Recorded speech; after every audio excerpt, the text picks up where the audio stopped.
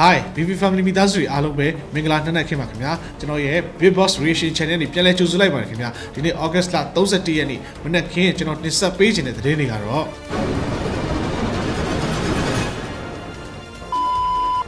မောင်တော်မြို့တင်တိုက်ပွဲဆက်လက်ပြင်းထန်နေပြီးစစ်ကောင်စီတပ်ဖွဲ့ဝင်များ၏အလောင်းများနဲ့စစ်တုံးပန်းများဖမ်းဆီးရရှိကဓာတုအစိမ့်ငွေဘုံများစစ်တပ်ကအုံပြုနေတယ်ဆိုတဲ့သတင်းပဲဖြစ်ပါတယ်နော်မြို့ထဲမှာလည်းတော်တော်လေးကိုဒီမှာစစ်တုံးပန်းတွေကိုမြို့ထဲမှာလိုက်ပတ်ပြီးတော့ဗောနော်ဟိုမှာ ဖမ်းပြနေတာတွေ့ရပါတော့နော်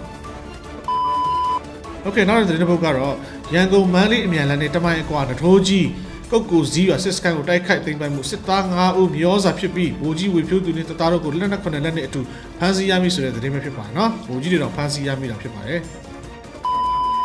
နောက်ချုံမြို့နယ်တောင်ခမ်းရွာနယ် TNL နဲ့စစ်တပ်တို့ကိုတိုက်ပွဲများဆက်လက်ပြင်းထန်နေပြီးစစ်တပ်ကလေရင်ဖြစ်လက်နက်ခဲများကျဲချနေဆိုတဲ့သတင်းပဲဖြစ်ပါတယ်အဲ့တော့အဲ TNL ကတော့တိုက်ပွဲတွေဆက်ပြီးတော့ဖြစ်နေတယ်ဒါကအောက်တိုဘာ30ရက်မနေ့ကအထိပေါ့နော်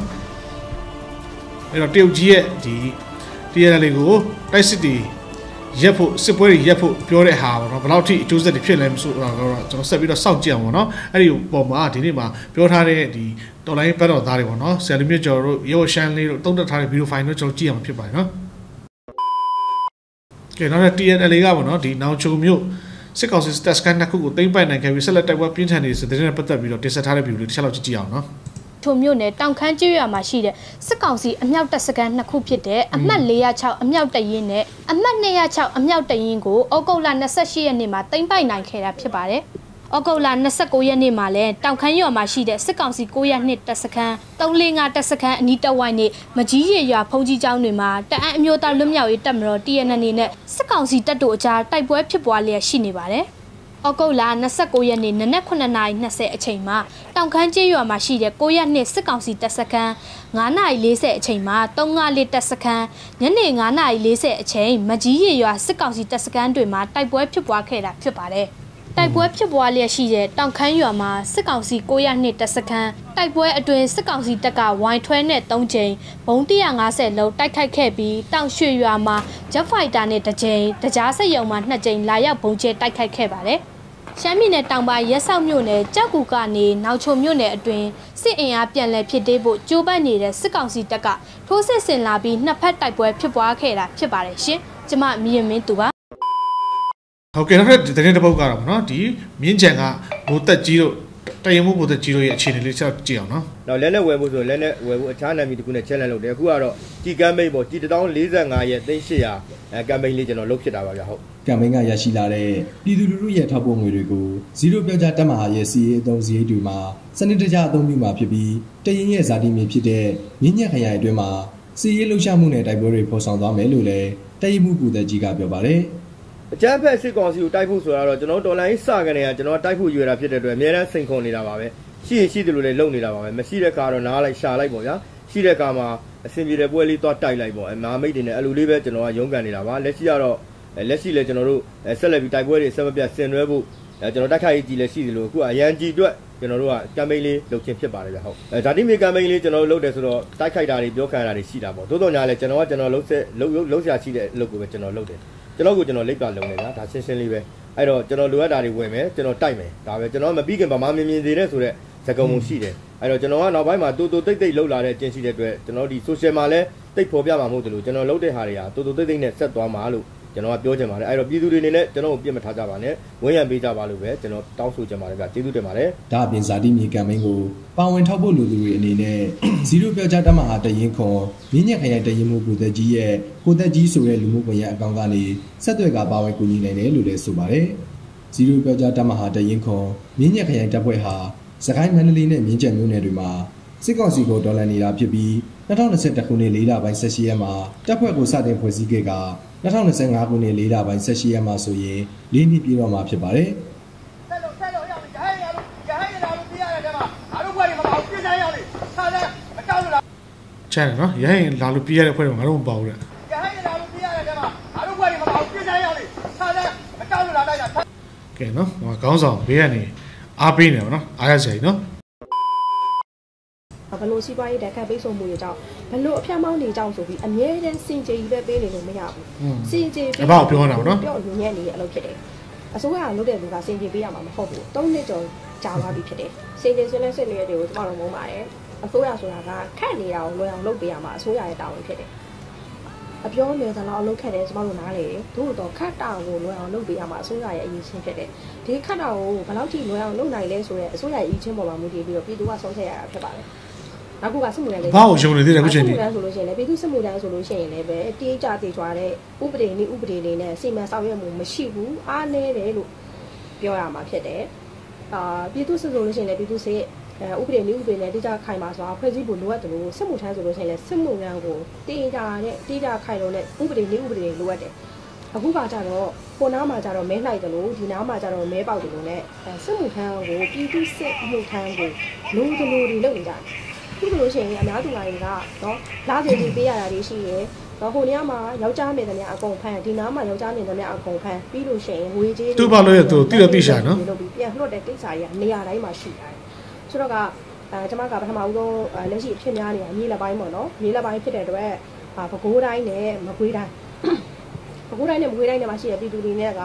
မိမိဒေသမှာကြုံနေရတဲ့ ပြည်သူစစ်အဲပြည်သူစစ်ဆိုစစ်မှုထမ်းဖွဲ့စည်းပေါ့နော်စစ်မှုထမ်းအပတ်စဉ်တွေအတွက်ဘယ်လိုမျိုးစစ်မှုထမ်းဖို့လူစရင်တွေကောက်နေလဲမိမိဒေသမှာအာဥမာကျွန်မကျွန်တော်တို့ကတော့ဘဲမျိုးနယ်ဘဲရဲကွယ်ကျွန်တော်တို့ကဘဲမျိုးနယ်ဘဲကျွေးရဘဲအုပ်စုဒီမှာငွေကြေးတွေဘယ်လိုကောက်ခံနေတယ်လဲအာပေါ်တာဘယ်လိုဆွဲနေလဲဒါအရင်စကားနဲ့ပြောရင်ပေါ်တာဆွဲတယ်ပေါ့နော်ပေါ်တာတွေဘယ်လိုဆွဲနေတယ်လဲအာဆွဲလို့ရတဲ့ကဲဒါကတော့ပုထုပြောတဲ့လေနော်အဘကြီးရဲ့အရေးချင်းရယ်ဒီစစ်စစ်မှုထမ်းအတွက်ပေါ့နော်မတရားခေါ်တယ်သူတို့လည်းသိပါတယ်နော် အဲ့တော့သူတို့ရဲ့ဆွေမျိုးတွေသူတို့အတိုင်းဝိုင်းတွေမထိသေးသေးသူတို့ကနာမမဟုတ်ဘူးနော်ထိတဲ့နေ့ကျမှသူတို့သိလာပါလိမ့်မယ်နော်ဒီရဲ့စစ်မှုထမ်းကိစ္စတွေကဒီအဘဘကြီးကဘယ်သူမှညာမဟုတ်ဘူးနော်အနီးအနီးတွေအစိမ့်တွေမဟုတ်တော့ဘူးနော်အခုကလူတိုင်းကိုထိတယ်နော်ပြည်သူတိုင်းကိုအားလုံးကိုသူတို့စပြီးမှခေါ်နေကြပါနော်ဟုတ်ပြီကျွန်တော်နောက်ထပ်ပါနော်ဒီတရုတ်ကဒီ TNL ကိုနော်စစ်ပွဲရဖို့ပြောတဲ့ကိစ္စနဲ့ပတ်သက်ပြီးတော့ဒီအတန်ထွက်ပေးကြတဲ့ရဲဝရှန်နေနဲ့ဆယ်လီမကျော်ပြီးတော့ဖိုင်တစ်ချက်လောက်တော့ကြည့်အောင်နော် ကျွန်တော်တို့ဗီဒီယိုတွေအထဲမှာပေါ့နော်ဒီအဲ့ဒီကိစ္စလေးနဲ့ပတ်သက်တယ်ပေါ့နော်ဒီတရုတ်ကပြောတဲ့ကိစ္စနဲ့ပတ်သက်တဲ့ဟာလေးပဲကျွန်တော်ဖြတ်ပြီးတော့တင်ပြထားပါတယ်နော်ဟိုမင်းတို့ပြစ်ခက်ရက်ပါမင်းတို့ငါပြောတာကိုလက်မခံဘူးဆိုရင်တော့မင်းတို့ကိုငါဘယ်လိုလုပ်မယ်ဆိုပြီးတော့ချင်းချောက်နေတဲ့ချင်းချောက်မှုကိုကျွန်တော်ပြည်သူအားလုံးလက်ခံပါသလားကျွန်တော်ရဲ့ဗီဒီယိုကိုကြည့်နေရင်းနဲ့ကျွန်တော်ရဲ့ comment မှာရေးပြခဲ့ပါကျွန်တော်ရေးပါတယ်ဒီအချိန်ကအရေးကြီးဆုံးသောအချိန်ဖြစ်တယ် ပြီးတော့ဒီအချိန်ကကျွန်တော်တို့နိုင်ငံတွင်းထဲမှာရှိတဲ့ကျွန်တော်တို့ပြည်သူအားလုံးရဲ့စီးလုံးမှုကိုတကဘာလုံးကိုချပြရမယ်အချိန်လည်းဖြစ်တယ်လက်ရှိအချိန်မှာကျွန်တော်ဖက်စစ်တက်ကစစ်ရှုံးနေတာစစ်ရှုံးနေတဲ့အတွက်သူကတရုတ်ကိုဒူးထောက်ခါရတောင်းမှန်လိုက်လို့လေတရုတ်ဘက်ကဒီလိုအတန်းထွက်လာတာလေဖြစ်နိုင်တယ်လို့လက်ရှိကျွန်တော်တို့ညီနောင်မဟာမိတ်သုံးဘွဲရဲ့တိုက်ခိုက်သိမ်းပိုက်ခဲ့တဲ့မြို့တွေအကုန်လုံးရဲ့ဒါဝန်တော့လေကြောင်းတိုက်ခိုက်မှုတွေ ပြီးတော့အချမ်းဖက်စစ်တက်ရဲ့ဖြစ်စည်းမှုဒဏ်တွေကိုမခံရဖို့အတွက်ကိုလေဒီထုတ်ပြန်ကြေညာချက်တွေထွက်လာလားလားဆိုတာကိုကျွန်တော်တို့တုံ့တက်ဖို့လိုတယ်ကျွန်တော်ရပြီးပါတယ်အခုလာရှူဥမိုးမိတ်ထိုနည်းလကောင်းမယ်ကျွန်တော်တို့ရှမ်းမန်စစ်စစ်ရေးလို့ခေါ်ပြီးတော့မဲလေးထိတိုက်မယ်ကျွန်တော်တို့ပြည်သူ့ကာကွယ်ရေးတပ်ဖွဲ့ဝင်တွေရဲ့အရှိန်ကိုဘယ်သူကရော့စီတာရော့စီချင်တာလဲဆိုတော့သူတို့ရဲ့ လက်ရှိထုတ်ပြန်ကြေညာချက်တွေကြောင့်ကျွန်တော်တို့ပြည်သူလူထုစုပေါင်းပြီးတော့တွန်းလှန်ခဲ့တဲ့ဖက်စစ်တော်လှန်ရေးစစ်ပွဲကြီးတိုက်ပွဲကြီးကျွန်တော်တို့ရက်လိုက်ရမှာလားကျွန်တော်ရင်မိပါလေစဉ်းစားပေးပါဆိုတော့အရာရာဟာကျွန်တော်တို့ပြည်သူလူထုကသာခရာဖြစ်တယ်ဆိုတဲ့စကားအမေတော်ဆန်းစွကြည်ပြောခဲ့တာကိုလည်းကျွန်တော်ရဲ့မိဘတွေမှတ်မိအောင်မယ်ထင်ပါတယ်ဗျ ဆိုတော့ဒီလိုမျိုးကျွန်တော်တို့နိုင်ငံကိုအာဏာသိမ်းလိုက်ရင်ဒီလိုအခြေအနေတွေဖြစ်လာမယ်ဆိုတာကိုတမိုင်းတုသေးတီတွေနဲ့လက်ရှိထောင်ထဲမှာအချင်းချခံထားရတဲ့ဒေါ်ဆန်းစွကြည်ကုံတိုက်လဲသိတယ်ဒီလိုအခြေအနေဖြစ်လာခဲ့ရင်ငါတို့အပြစ်ခတ်ရစဲရမှာလားငါတို့ကြောက်ရမှာလားဆိုတာကိုလည်းပဲ TNLA ကဗိုလ်ချုပ်တာဖုံးကျော်ကလည်းသိတယ်ဒါကြောင့်သူတစ်ချိန်ကပြောခဲ့တဲ့စကားလေးကိုကျွန်တော်ပြန်ပြောပြမယ်အဲ့ဒါကတော့ break ခဏခဏယူရအောင်ဘောလုံးကန်နေတာမဟုတ်ဘူးတဲ့ပြီးတော့ခဏခဏရက်ရအောင်လက်ဝိတ်ထိုးနေတာလည်းမဟုတ်ဘူးတဲ့ကျွန်တော်ရမိပါပဲကိုလင်းတချင်းလိုပဲကျွန်တော်တို့ဆက်ပြီးတော့စိုးလိုက်ရအောင်တဲ့ရှေ့ကိုရှေ့ကိုခြိတက်လိုက်ပါဆိုတော့ကျွန်တော်တို့နိုင်ငံတွင်းထဲမှာရှိတဲ့ကျွန်တော်တို့ရဲ့တိုင်းရင်းသားလက်နက်ကိုင်အဖွဲ့အစည်းခေါင်းဆောင်တွေကလက်ရှိအကြမ်းဖက်စစ်တပ်ရဲ့ဇယိုက်ကိုကျွန်တော်တို့တိမ်ပန်များစွာခံခဲ့ပြီးသား ပြီးတော့ကျွန်တော်တို့အိန္ဒိချင်းနိုင်ငံဘာလို့ပြောလဲကျွန်တော်တို့ရဲ့ဘေးနားမှာရှိတဲ့အင်အားကြီးနိုင်ငံတွေရဲ့သဘောတရားကိုလည်းကျွန်တော်တို့ကကြိုတင်သိရှိပြီးသားကြိုတင်ဒါတွေးမြင်ပြီးသားဆိုတော့ဒီခေတ်နဲ့ဒီချင်းချင်းတွေဖြစ်လာခဲ့ရင်ဘယ်လိုဖြည့်ရှင်းမလဲဆိုတာကိုလည်းကျွန်တော်တို့အားလုံးမှာအဖြေရှိနေတဲ့အတွက်ကျွန်တော်ရဲ့မိဘပြည်သူတွေစိုးရိမ်မှုများကြီးမထားပါနဲ့ ဆိုတော့ဒီလိုမျိုးချင်းချင်းတွေဒီလိုမျိုးခြေနွေတွေကိုလည်းကျွန်တော်တို့ကစနစ်တကျပုံဖော်ပြီးတော့ကျွန်တော်တို့ပူးပေါင်းပြီးတော့ရှေ့ကိုဆက်နေပါတယ်ဒါကြောင့်လည်းပဲကျွန်တော်ပြောနေတဲ့စုပေါင်းသောမဟာမိတ်တပ်ဖွဲ့ဝင်ကြီးတွေရဲ့အောင်ပွဲတွေကိုကျွန်တော်တို့ဇက်တိုက်မြင်ရမယ်လို့ကျွန်တော်မိုးရသည်မစခင်တွေကပြောခဲ့တာဆိုတော့ဒီလိုစကားကိုပြောနိုင်ဖို့အတွက်လဲကျွန်တော်တို့၃နှစ်ကျော် ကျွန်တော်တို့လူငယ်တွေအခမဲ့ပေးဆက်ခဲ့တာကျွန်တော်မြင်ပါတယ်ဒီကနေ့မှာတရုတ်နဲ့ပတ်သက်ပြီးတော့ထုတ်ပြန်ကြေညာချက်ဒါကျွန်တော်တယောက်ကျွန်တော်တယောက်တည်းရဲ့အမြင်ကိုပြောမယ်ဆိုရင်တော့ကျွန်တော်တို့လူငယ်တွေကတော့လုံးဝအကွေးမဆိုင်ဘူးပြောချင်ဒါကတော့ကျွန်တော်တို့တောက်နေကြကော်ဖီတစ်ခွက်လောက်တန်ဖိုးမရှိဘူးဘာဖြစ်လို့လဲ ကျွန်တော်တို့နိုင်ငံရဲ့ Federal ကိုကျွန်တော်တို့ပြည်သူတွေရဲ့အသက်အိုးအိမ်စည်းစိမ်တွေနဲ့ရင်းနှီးပြီးတော့တိစောက်နေတာကျွန်တော်တို့ Federal နိုင်ငံအတွက်ကျွန်တော်တို့လူငယ်တွေရဲ့အသက်တွေကိုရင်းနှီးပြီးတော့တိစောက်နေတာဒီချက်ပုံပြပြောရမယ်ဆိုရင်ကျွန်တော်တို့နိုင်ငံ1960 1980 1988အခု2021ထိမြောက်များစွာသောအသက်တွေကိုပေးဆက်ပြီးတော့တိစောက်ထားတဲ့ဒီမိုကရေစီ Federal နိုင်ငံ ဆိုတော့ကျွန်တော်တို့နိုင်ငံသားတွေအားလုံးရဲ့အိမ်မက်ဒီအိမ်မက်ကိုဘာအကြောင်းအကြောင်းနဲ့မှကျွန်တော်တို့အပြတ်စည်းခံနိုင်မှာမဟုတ်တလို့ကျွန်တော်တို့စီလုံးမှုတွေကိုပို့ပြီးတော့မြင်တွေ့ရမယ်ပြီးတော့ပို့ပြီးတော့တက်သေးပြရမယ်အချိန်ဖြစ်တယ်အရေးကြီးတယ်လို့ကျွန်တော်တင်ပြခဲ့ခြင်းဖြစ်တယ်နော်ပါတယ်ဟုတ်ကဲ့ပါမနေ့ပြန်ကြရင်ကျွန်တော်စနေနေ့ live ကျွန်တော်တိဆက်ပေးပါမယ်ပုံမှန်တိဆက်နေကြပါဗျာအရှိပြီးခဲ့တဲ့ရက်ဒီမှာကျွန်တော်ပြက်ကတ်သွား ကဲဒါကတော့ရုပ်ရှမ်းလေးရဲ့သုံးတက်ထားတဲ့ဟာပေါ့နော်နောက်ထပ်ဆရာလေးမျိုးကျော်သုံးတက်ထားတာတစ်ချက်လောက်ကြည့်လိုက်အောင်နော်အာတရုတ်နိုင်ငံရဲ့သဘောထားအစ်စ်ကဤကဲ့သို့ဆိုရင်တော့ကျွန်တော်တို့ဟာ TNL MNDA AA မြောက်ပိုင်းညီနောင်သုံးဘွဲနဲ့အတူတတိုင်းပြည်လုံးတရားရေးရက်တည်ကြရမှာဖြစ်ပါတယ်လုံးဝယုံမှတန်တရားမရှိပဲတောင်းတက်တော် TNL နဲ့အတူຫນွေဦးတော်လိုင်းရေးတိုက်ပွဲကိုအတူတကွဆင်နွှဲကြရမှာဖြစ်ပါတယ် ကျွန်တော်တို့တတိုင်းပြည်လုံးဟာ TNL နဲ့တကွမြောက်ပိုင်းကြီးတော့သုံးဘွဲနဲ့အတူရှိကြောင်းຫນွေဦးတော်လိုင်းကိုတိုက်ပွဲဝင်နေတော့တိုင်းရင်းသား EAO များနဲ့အတူရက်တည်ကြောင်းကျွန်တော်တို့ထုတ်ဖော်ပြသရမယ့်ချိန်ဖြစ်ပါတယ်။နောက်တစ်ချက်ကတရုတ်နိုင်ငံကလူကြီးမင်းများထံလေးလေးစားစားကျွန်တော်တို့မြစ်တာရက်ခံတိုးတာကကျွန်တော်တို့ဟာအနိုင်ကျင့်ခံနေရတာ ဖိနှိပ်ခံနေရတာပါရုပ်မာခံနေရတာပါရက်ဆက်ခံနေရတာကျွန်တော်တို့နိုင်ငံသူနိုင်ငံသားတွေဟာကျွန်တော်တို့နိုင်ငံသူနိုင်ငံသားတွေရဲ့အခွန်ငွေပတ်စံတွေဘဏ္ဍာငွေတွေနဲ့ဝယ်ယူထားတဲ့တနတ်တွေနဲ့ဘုံတွေနဲ့အပြစ်သက်ခံရွာမီးရှို့ခံနေကြရတာဟုတ်တယ်မတရားပြုတ်မှုခံနေကြရတာပါလို့တရုတ်နိုင်ငံတော်တမရ နိုင်ငံတော်ဝန်ကြီးချုပ်အစရှိတဲ့တရုတ်နိုင်ငံခေါင်းဆောင်များနဲ့တရုတ်အစိုးရထံပထမဦးစွာအတိပေးလို့လူကြီးမင်းတို့လက်ရှိဆက်ဆံနေတဲ့မင်းအောင်လိုက်ဦးဆောင်တဲ့စစ်ကောင်စီဟာမတရားအာဏာသိမ်းယူသွားတာဖြစ်ပါတယ်တနက်နဲ့နှစ်ဘူးကိုထောက်ပြီးလူလူခေါင်းဆောင်တော်ဆန်းစုကြည်တဲ့လူလူကရွေးချယ်တင်မြှောက်ထားတဲ့အစိုးရကို မတရားဖန်ဆီးထားတာဖြစ်ပါတယ်